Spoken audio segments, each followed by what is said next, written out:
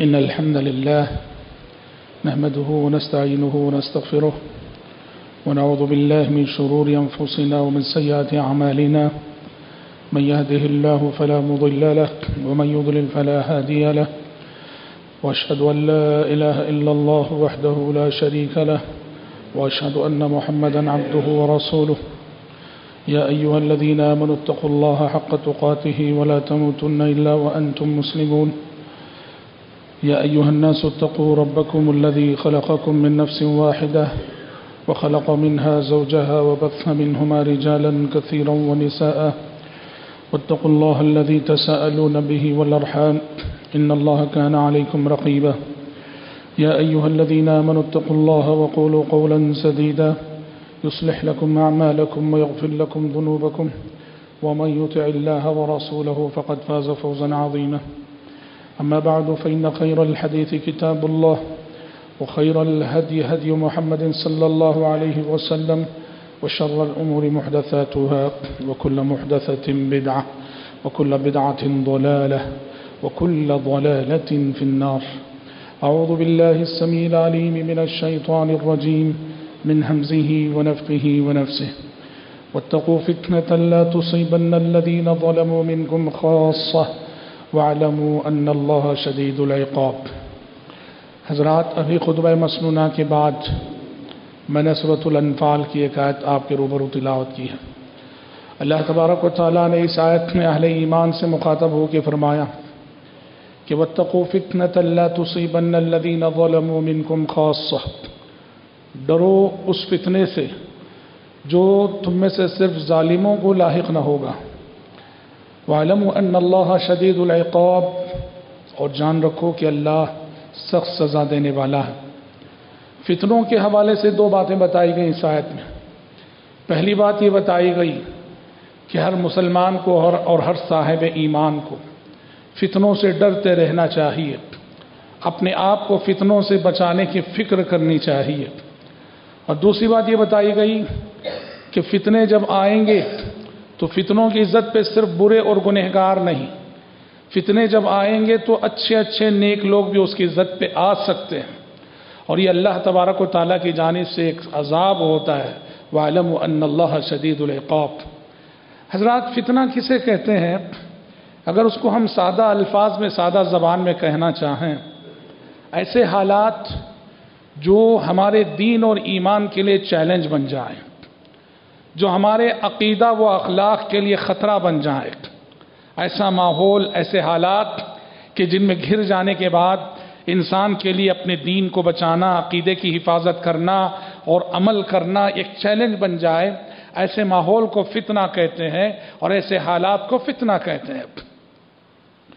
نبی کریم صلی اللہ علیہ وسلم نے احادیث میں اپنی امت کو فتنوں سے آگاہ کیا ہے۔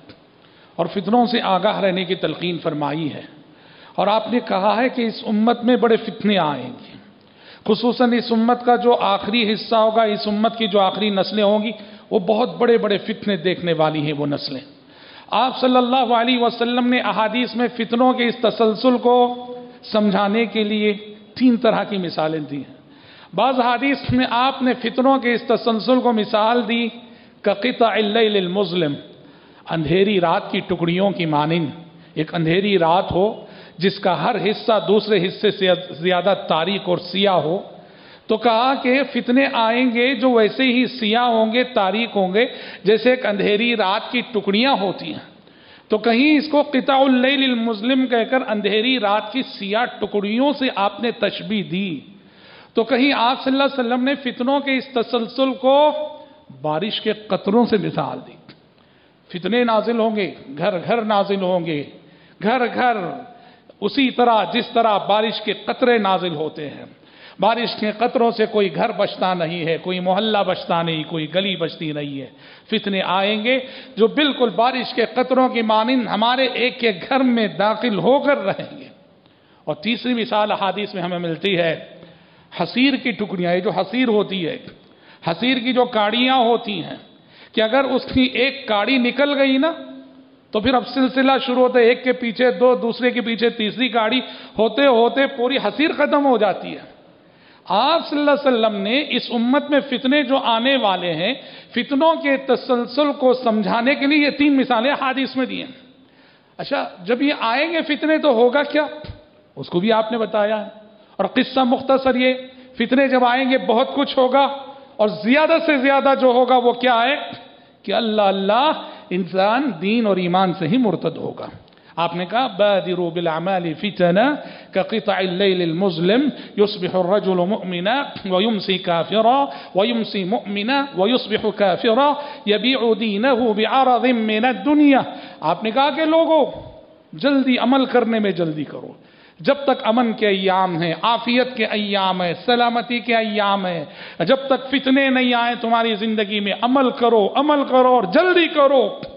قبل اس کے ایسے فتنے آئے جو اندھیری رات کی ٹکڑیوں کی مانند تاریخ اور سیاہ ہوں گے، ہوگا کیا؟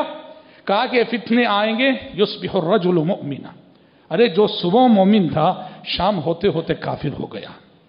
اور جو شام مومن تھا، صبح ہوتے ہوتے کافر ہو جائے گا۔ حالات اس تیزی سے بدلیں گے۔ ایمان کی حفاظت اتنا بڑا چیلنج بن جائے گی۔ عقیدے کی حفاظت اتنا بڑا چیلنج بن جائے گی۔ اور کہا یہ اصل مسئلہ یہ بھی دین من الدنیا، مادہ پرستی، پیسے کی پوجا، روپیے کی پرستش، درہم و دینار کی بندگی۔ کہا کہ انسان درہم و دینار کا پجاری بن جائے گا۔ روپیے پیسے کا بندہ بن جائے گا۔ یہ بھی دین ہو من دنیا جہاں روپیہ مل جائے، پیسہ مل جائے، وہاں ضمیر کیا چیز ہے اسے نہیں معلوم، ایمان کیا چیزیں نہیں معلوم، سچائی کیا چیزیں نہیں معلوم امانت داری کیا چیزیں نہیں معلوم، بس مجھے پیسہ چاہیے پیسہ چاہیے پیسہ چاہیے۔ اور اس پیسے کو پانے کے لیے اپنی ضمیر کو بیچنا پڑے تو بھی وہ بیچیں گے۔ اپنے عقیدے کو بیچنا پڑے تو بھی بیچیں گے۔ اپنے دین کا سودا کرنا پڑے تو بھی کریں گے۔ اپنے ایمان کا سودا کرنا پڑے تو بھی کریں گے۔ حضرات، یہ احادیث میں آپ صلی اللہ علیہ وسلم کی بتائی بھی بات ہے کہ فتنے جب آتے ہیں تو فتنوں کا اثر انسانوں کی زندگی پہ کیا ہوتا ہے؟ بڑے اثرات ہوتے ہیں اور سب سے بڑا اثر یہ کہ دین، ایمان، عقیدے کی دولت ان سے جو ہے چھن جائے گی۔ نسل اللہ السلامت والعافیہ۔ دیکھیے، کچھ چیزیں ایسی ہیں جو ہماری کامن لائف میں کامن ہیں، لیکن وہ چیزیں ہمارے لیے کبھی بھی فتنہ بن سکتی ہیں۔ کچھ چیزیں، مثلا عورت ہے، جیسے مرد ہے، ایک سنف عورت ایک سنف ہے۔ لیکن آپ صلی اللہ علیہ وسلم نے حادث میں فرمایا کہ یہ عورت کبھی بھی کسی کے لیے بھی کسی بھی لمحہ فتنہ بن سکتی ہے۔ جب یہ عورت بے حیا ہو جائے، بے پردہ ہو جائے، بے شرم ہو جائے، بے آبرو ہو جائے، حجاب اتار دے، گھر میں رہنے کو اپنے لیے غلامی تصور کرنے لگے اور اپنے حسن و جمال کی نمائش کرنے لگے، تو پھر شریعت نے کہا، یہ وقت کا اتنا بڑا فتنہ ہے جو زمین میں ہر جگہ فتنہ ہے، ہر ہر مرد کے لیے فتنہ ہے۔ آپ نے فرمایا والله ما تركت بعدي فتنة أضر على الرجال من النساء. آپ نے فرمایا کہ میں نے اپنے بعد میں نے اپنے بعد مردوں کے لیے عورت سے بڑا کوئی فتنہ نہیں چھوڑا ہے۔ عورت کو آپ نے مردوں کے لیے سب سے بڑا فتنہ قرار دیا۔ جو مردوں کی جوانی کے لیے، مردوں کے اخلاق کے لیے، مردوں کے کیریکٹر کے لیے فتنہ بنتی ہے، اپنے حسن و جمال کی نمائش کر کے۔ تو عورت کا فتنہ یہ ہر جگہ ہے، ہر زمانے میں رہا، ہر جگہ رہا اور ہر لمحہ رہتا ہے۔ جب عورت بے پردہ ہو جائے، بے حیا بے غیرت و بے شرم ہو جائے۔ وہیں آپ صلی اللہ علیہ وسلم نے اولاد کو فتنہ قرار دیا۔ قرآن نے بھی کہا، انما اموالکم اولادکم فتنہ۔ اولاد ایک نعمت ہے، یقیناً نعمت ہے۔ لیکن یہی نعمت فتنہ بھی بن سکتی ہے، ہوشیار رہنا۔ سمجھ رہے ہیں؟ کیسے فتنہ بن سکتی ہے؟ مجھے میرے اولاد سے بڑا لاڑ ہے، بڑا پیار ہے، اور یہی لاڑ اور پیار جو ہے ان کی تربیت کرنے نہیں دیتا مجھے۔ ارے بچے ناراض نہ ہو جائے بچے کی ارمان پوری ہو جائے، بچے کی خواہش پوری ہو جائے۔ اتنا لاڑ دیتے اتنا پیار دیتے ہیں، شریعت کو بھی اٹھا کے جو ہے ہم تاکہ نسیان پہ ڈال دیتے ہیں۔ بچوں کی تربیت کرتے ہی نہیں ہے بچوں کی ہر ارمان پوری کرنا، ہر خواہش پوری کرنا، ہر مانگی چیز انہیں دینا۔ اپنے ہاتھوں سے اولاد کو ہم بگاڑتے ہیں۔ اور اولاد فتنہ بنتی ہے بھائیو، اس لیے اولاد کی خاطر بسا اوقات انسان اپنی زندگی میں اتنا گرتا ہے کہ کبھی اپنے لیے کبھی گرا نہیں، کبھی اپنے لیے اتنا گرا نہیں۔ سمجھ رہے اولاد بڑی بہت آزمائش بن سکتی ہے، کسی بھی وقت آزمائش بن سکتی ہے۔ آپ سوچو، اولو العظم پیغمبر حضرت نو علیہ السلام بیوی کافر تھی۔ نتیجہ یہ ہوا کہ ایک بچہ راہ راست سے ہٹ گیا۔ حضرت نو علیہ السلام کو اس ایک بچے کی وجہ سے کتنی بڑی امتحان سے گزرنا پڑا، کتنی بڑی آزمائش سے گزرنا پڑا۔ ذرا سورہ ہود پڑھو۔ اللہ رب العزت نے جب پدرانہ شفقت غالب آئی، باپ کی محبت غالب آئی، بیٹے کو آنکھوں کے سامنے ڈوبتے ہوئے دیکھا، تو اس کے حق میں سفارش کر دی، دعا کر دی۔ آسمان سے وہی آ گئی کہ اے نوح، کس کے لیے سفارش کر رہے ہو؟ انہو لیس من اہلک اسے اپنا فیملی ممبر مت کہو۔ انہو عمل غیر الصالح۔ کہ اس کا عقیدہ صحیح نہ تھا، وہ شرک پہ تھا۔ انی اعیزک ان تکون من من ایسی نادانی اے نوح مت کرو۔ آسمان سے آنے والی وحی نے اولو العظم پیغمبر کو اس لہجے میں خطاب کیا، انی اعیزک ان تکون من الجاہلین. ایک نافرمان بچے کی وجہ سے، ایک نافرمان اولاد کی وجہ سے ایک اولو العظم پیغمبر کو کتنے بڑے امتحان سے گزرنا پڑ رہا۔ ہے اسے یاد رکھو، اپنے، اپنی اولاد کبھی بھی فتنہ بن سکتی ہے۔ اولاد سے لاڑ پیار کرنے کا مطلب یہ نہیں کہ آپ اولاد کو ایسی آزادی دے دیں کہ حلال و حرام، جائز و ناجائز کوئی تمیز باقی نہ رکھے۔ اور وہ خود آگے چل کر آپ کے آپ کے اخلاق کا مذاق اڑائے اور آپ کے گھر کے دینی ماحول کا مذاق اڑائے۔ اسی طرح سے حضرات مثلا جو عمومی فتنے اس امت میں ہے کوئی جو کبھی بھی فتنہ بن سکتے ہیں، کسی بھی مال آپ نے فرمایا لکل امتی فتنہ وہ فتنہ تو امتی المال۔ آپ نے کہا کہ ہر امت کا ایک فتنہ ہوتا ہے اور میری امت کے لیے ایک بڑا فتنہ مال بھی ہے۔ وہ فتنہ تو امتی المال۔ مال کی جب بات آ جائے، حلال حرام کی تفریق نہیں، جائز نہ جائے، اس کی کوئی تمیز نہیں۔ ظلم کر کے ماریں گے، ظلم کر کے کھائیں گے، دوسروں کا حق دبائیں گے، حقداروں کا حق نہیں دیں گے۔ فتنہ ہے مال۔ فوالله للفقر أخشى عليكم ولكن أخشى أن تبسط عليكم الدنيا كما بسطت على من كان قبلكم. فتنافسوا فيها كما تنافسوا فيها. فتهلككم كما أهلكتهم. آپ نے فرمایا کہ لوگوں اللہ کی قسم تمہارے سلسلے میں مجھے فقر و فاقے اور غربت کا ڈر نہیں. لیکن ڈر ہے تو اس بات کا کہ دنیا کے خزانے تم پر آئندہ ویسے ہی کھول دیے جائیں گے، جس طرح تم سے پہلے گزرے لوگوں پر کھول دیے گئے تھے، اور پھر تم دنیا کے ان خزانوں کو پانے میں ایک دوسرے سے ویسے ہی منافست اور سبقت کرو گے، جیسے گزری امتوں نے سبقت کی تھی، اور جیسے اس دنیا نے، اس مال نے ان کو ہلاک کیا تھا، تمہیں بھی ہلاک کر کے چھوڑے گی، برباد کر کے چھوڑے گی۔ تو دیکھو، مال بھی اصل میں نعمت ہے ہاں اولاد بھی اصل میں نعمت ہے عورت بھی حقیقت میں ایک نعمت ہے۔ یہ نعمتیں ہوشیار رہنا کبھی بھی فتنہ بن سکتی ہیں۔ سمجھ رہے؟ یا ایوہ الذین آمنوا ان من ازواجکم اولادکم عدو لکم فحذرون قرآن نے کہا، اے ایمان والو، تم میں سے باز کی بیویاں تمہاری دشمن ہیں، تم میں سے باز کی اولاد دشمن ہے ہوشیار رہو فحذروہم یہ تو وہ باتیں ہیں، وہ چیزیں ہیں جو کبھی بھی کسی بھی شخص کے لیے فتنہ بن سکتی ہیں۔ لیکن اس امت کا جو مستقبل ہے، قیامت سے پہلے کا جو زمانہ ہے جسے آخر الزمان یعنی آخری دور سے احادیث میں تعبیر کیا گیا۔ اس کو تو پورا فتنوں سے بھرا ہوا زمانہ حادیث میں قرار دیا گیا۔ بے شمار حدیثیں اس آخری زمانے کی تصویر ہمارے سامنے پیش کرتی ہیں۔ اور جو جو اس طرح کی حدیثیں ہیں نا، جو آخری زمانے کی تصویر پیش کرتی ہیں، واللہ العظیم، وہ ساری تصویر منظر بن کر آج ہمارے سامنے ہیں۔ یعنی جو کبھی پیشن گوئیاں تھی آج وہ پیشن گوئیاں نہ رہی بن کر ہمارے سامنے آپ صلی اللہ علیہ وسلم نے کہا مثلا لا تقوم الساعة حتى يقبض العلم وتكثر الزلازل ويتقارب الزمان وتظهر الفتن قیامت اس وقت تک قائم نہ ہوگی جب تک کہ علم اٹھا لانے چاہیے علم نہ اٹھا لیا جائے زلزلے ہونے لگیں گے زمانے زمانہ قریب ہو جائے گا وقت کی برکت ختم ہو جائے گی اور وتظہر الفتن اور فتنے ظاہر ہونے لگیں گے علم ختم ہوگا فتنے سر اٹھائیں گے ایک حدیث میں آپ نے فرمایا ان امتی جعلت آفیتها في اولها وسيصيب آخرها بلاء وأمور تنكرونها فتن يرقق بعضها بعضا آپ نے فرمایا میری امت کی آفیت اس کی ابتدائی نسلوں میں رکھ دی گئی ہے میری امت کی آفیت اس کی ابتدائی نسلوں میں رکھ دی گئی ہے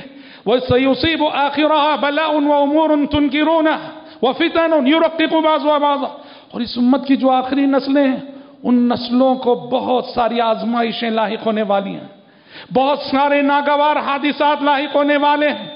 وَفِتَنٌ يُرَقِّقُ بَعْضُهَا بَعْضًا۔ میری امت کی آخری نسلوں کو ایسے فتنے دیکھنے پڑیں گے کہ ہر فتنہ اپنی جگہ بڑا ہوگا اور ہر آنے والا فتنہ گزرے ہوئے فتنے کو چھوٹا کر دے گا۔ ہم اس کو بڑا سمجھ رہے تھے۔ دوسرا فتنہ ایسا آئے گا اس سے بڑا کہ دوسرا ہماری نظر میں چھوٹا ہو گیا۔ اور ہم اس کو بڑا سمجھ رہے تھے۔ تیسرا ایسا آئے گا اس سے بڑا گزشتہ دونوں فتنے اس کے سامنے چھوٹے ہو گئے۔ آپ نے پیشن گوئی فرمائی ہے اس امت کی آخری نسلوں کو جو قیامت کے قریب رہیں گی جیئیں گی، اس طرح کے بڑے فتنے دیکھنے پڑیں گے۔ اور حضرات، ہم اور آپ جس ماحول میں جی رہے یوں کہیے فتنوں سے بھری ہوئی دنیا ہے یہ۔ فتنوں سے بھرے ہوئے حالات ہیں یہ۔ فتنوں سے بھرا ہوا ماحول ہے یہ۔ فتنوں کے سمندر میں جی رہے ہم۔ اگر ضمیر زندہ ہو، ہمارا ایمان زندہ ہو، ہمارے اندر اگر ایمانی حمیت باقی ہو، ہم محسوس کریں گے ہمارے آگے فتنے، ہمارے پیچھے فتنے، ہمارے دائیں فتنے، ہمارے بائیں فتنے، ہمارے اوپر فتنے، ہمارے نیچے فتنے۔ آج ہم بری طرح سے فتنوں میں گھرے ہوئے ہیں۔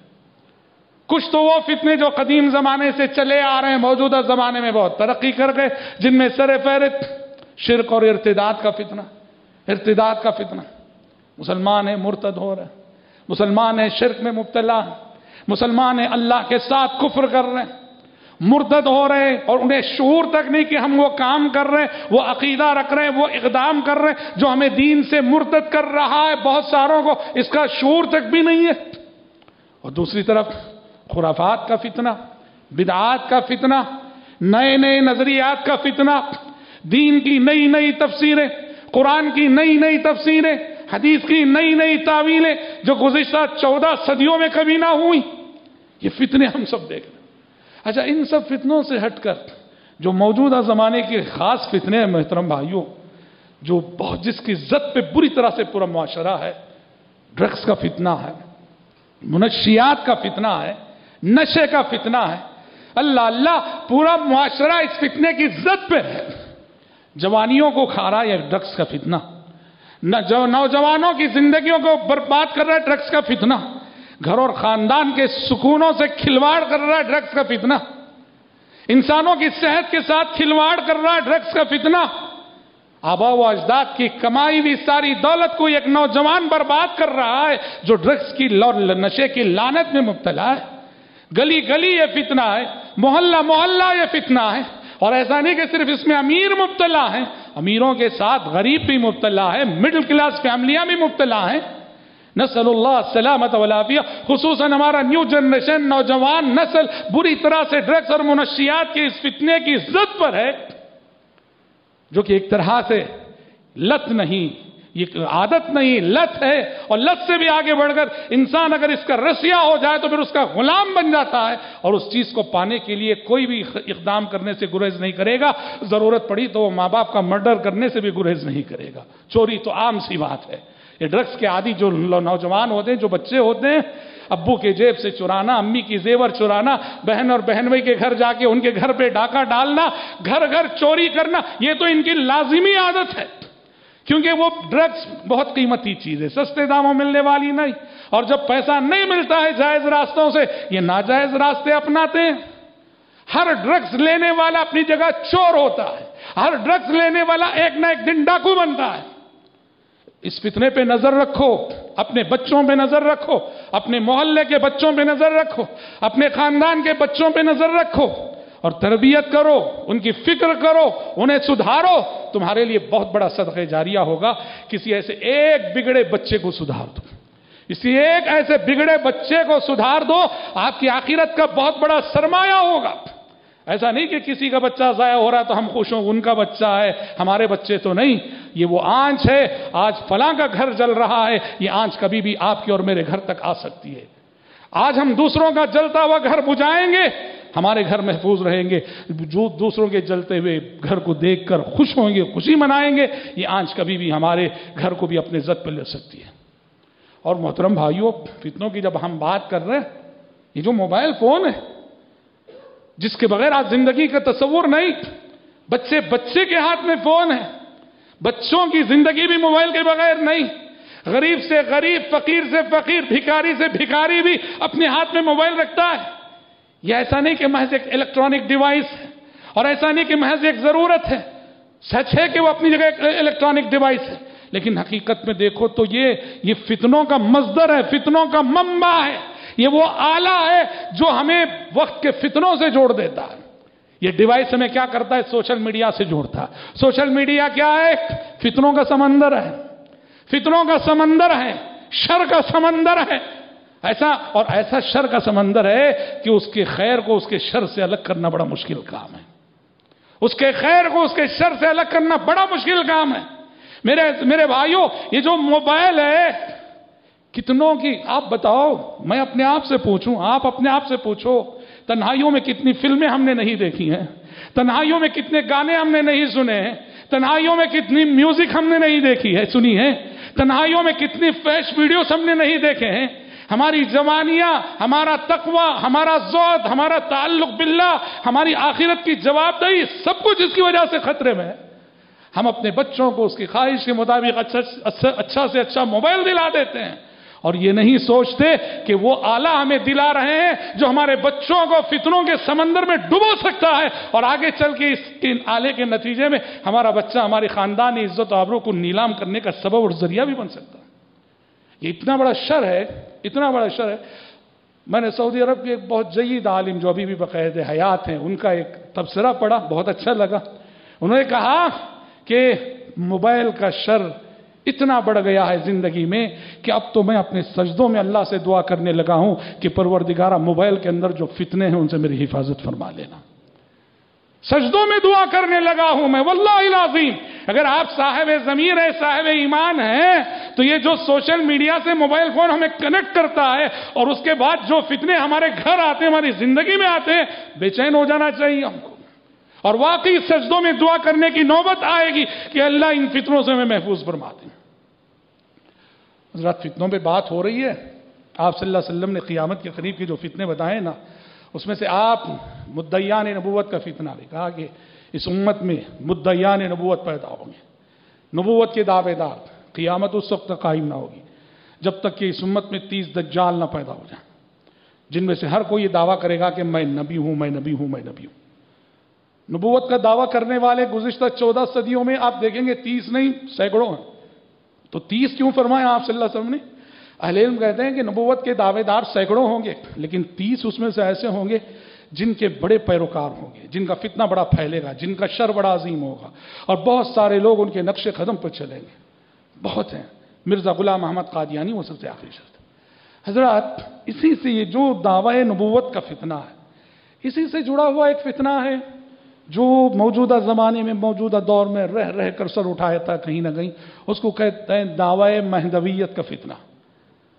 حدیثوں میں آپ صلی اللہ علیہ وسلم نے پیشن گوئی فرمائی ہے کہ قیامت سے پہلے حضرت مہدی علیہ السلام ظاہر ہوں گے، حضرت مہدی علیہ السلام کا ظہور ہوگا، اور بے شمار احادیث اس سلسلے میں وارد ہیں، صحیح احادیث ہیں، اور اہل السنہ والجماع کا یہ عقیدہ ہے کہ جس طرح عیسیٰ علیہ السلام نازل ہوں گے آسمان سے، مہدی علیہ السلام ان سے پہلے آئیں گے، یہ اہل السنہ والجماع کا عقیدہ ہے۔ اب اس امت میں آپ دیکھیں گے آج بھی، گزشتہ زمانے میں بھی، گزشتہ صدیوں میں بھی بے شمار لوگوں نے دعوی مہدویت۔ اور اس وقت ایک شخص ہے جس کا فتنہ بہت پھیل رہا ہے۔ اور یہ ہے جس سے فتنہ شکیل بن حنیف کہا جاتا ہے۔ فتنہ شکیل بن حنیف۔ یہ فتنہ اصل میں ادھر تھا نارتھ میں۔ اب وہ افسوس ہے، ادھر بھی آ گیا۔ یہ کون ہے؟ یہ کہتے ہیں اورنگ آباد کا رہنے والا ایک شخص ہے۔ اورنگ آباد کے اطراف و اکناف کا رہنے والا ایک شخص ہے۔ شکیل اس کا نام تھا۔ گزشتہ دس پندرہ سالوں سے اس نے دعوی مہدویت کر رکھا ہے کہ میں مہدی ہوں، میں وہی مہدی ہوں جس کی پیشن گوئی آپ صلی اللہ علیہ وسلم نے حادث میں فرمائی ہے۔ اور اپنی جگہ جاہل ہے شخص اور افسوس ہے، ایسے گرے پڑے لوگوں کے بھی لوگ پیروی کرنے لگتے ہیں، ماننے لگتے ہیں۔ سنتے ہیں کہ وہاں خود اس کا ایک بڑا مجمع، ایک جو اس کی ایک جماعت بن گئی۔ اور یہ فتنہ ہم سمجھ رہے تھے وہی ہے ادھر مہاراشٹر وغیرہ میں۔ پچھلے دنوں سننے کو ملا، خبریں آئیں، ہمارے اسٹیٹ میں آ گئے، ہمارے صوبے میں آ گئے فتنہ ہبلی ہبلی میں ان کے، اس کے مبلغ پکڑے گئے۔ اور اسٹیٹ کی بات ہم سن رہے تھے، ابھی پچھلے دنوں خبریں ملی کہ ہمارے شہر میں ان کے مبلغ پکڑے گئے۔ جو ایسے نوجوانوں کو ٹارگٹ کر رہے ہیں، جو نوجوان جذبہ رکھتے ہیں، مگر علم نام کی کوئی چیز ان کے اندر نہیں۔ علم نہیں ہے، علماء سے کوئی تعلق نہیں ہے، صرف جذبہ ہے۔ یہ لوگ مسجدوں میں آتے ہیں، دیکھتے ہیں پہلے کہ کون بھولا بھالا نوجوان ہے، اس کو پکڑتے ہیں، اس کو تنہائیوں میں لے جاتے ہیں اور پھر وہ شکیل بن حنیف کی تبلیغ کرتے ہیں کہ وہ مہدی ہے اور مہدی ہونے کی حیثیت سے اس پہ ایمان لاؤ۔ اور ایمان لا، نہیں لانے والا ان کی نظروں میں مرتد ہے، کافر ہے۔ چونکہ یہ آنچ ہمارے شہر تک آ چکی ہے۔ ہمارے شہر تک پھیل چکی ہے۔ اسی لیے ورنہ تو ممبروں سے بولنے کی ضرورت نہ تھی۔ ہمارے شہر تک پھیل چکی ہے۔ افسوس ہے لوگوں کی عقل کہاں چلی گئی؟ یہ جہالت کا نتیجہ ہے۔ آپ صلی اللہ علیہ وسلم نے مہدی آخر الزمان کے صاف علامتیں بتا دی نشانیاں بتا دی وہ تو عربی ہوں گے۔ ہاں مہدی آخر الزمان عربی ہوں گے۔ حضرت فاطمہ رضی اللہ عنہ کی نسل سے ہوں گے۔ اور یہ تو عجمی ہے۔ یہ تو عجمی ہے۔ اور ان کے بارے میں وہ جب آئیں گے، ان کے آنے کے بعد دنیا میں خوشحالی آ جائے گی۔ سات سال کے اندر پوری خوشحالی سے زمین معمور ہو جائے گی۔ اور اس کے بارے میں کہتے ہیں، شکیل کے بارے میں، وہ جس علاقے کا ہے، پورے مہاراشٹر کا سب سے خشک علاقہ ہے۔ کسان مر رہے وہاں۔ آپ صلی اللہ علیہ وسلم نے کہا مہدی کے بارے میں کہ مہدی میرا، ان کا نام میرے نام کے مطابق اور ان کے باپ کا نام میرے باپ کے نام کے مطابق یعنی جو مہدی آئیں گے، وہ محمد بن عبداللہ کہلائیں گے۔ یہ تو شکیل ہے۔ یہ تو اپنے نام کے آگے محمد کا بعد میں اس نے اضافہ کیا، وہ تو شکیل اس کا نام ہے۔ کہاں چلی گئی ہماری عقل؟ کہ ایسے گرے پڑے لوگوں کے بھی لوگ پیروکار بن جائیں، ایسے گرے پڑے لوگوں کے پیچھے بھی لوگ چلنے لگے تو حضرات، قدم قدم پہ فتنے، قدم قدم پہ فتنے ہیں۔ اس لیے فتنوں سے بچنے کے لیے دوبری ایک چیز ہے، اللہ سے دعا۔ دعاؤں کا سہارا لو۔ آپ صلی اللہ علیہ وسلم نے صحابہ سے کہا تعوذوا باللہ من الفتن ما ظہر منها وما, وما بطن. تعوذوا باللہ من الفتن ما ظہر منها وما بطن. لوگو تمام ظاہری اور باطنی فتنوں سے اللہ کی پناہ مانگو۔ صحابہ نے ایک زبان ہو کے کہا نعوذ باللہ من الفتن ما ظہر منها وما بطن۔ کہ ہم اللہ کی پناہ چاہتے ہیں تمام ظاہری اور باطنی فتنوں سے۔ اتحیات میں ہمیں دعا سکھائی گئی۔